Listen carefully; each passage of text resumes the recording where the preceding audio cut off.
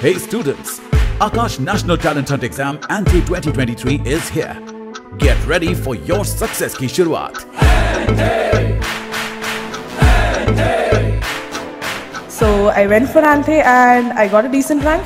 I gave Anthe in 8th standard, joined foundation courses in 9th standard and I've never regretted that decision. I gave Anthe in 10th grade. 8th standard I gave Anthe and got um, admission in the classroom course of Aakash. Um, and I did foundations and preparation for NSEJS then um, in 9th and 10th grade. I appeared for the Anthe in class 8th. Um, I had given Anthe in class 10 ma'am and in that I secured All India rank 19.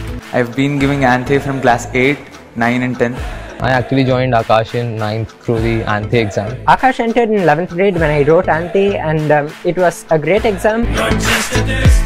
Registrations open.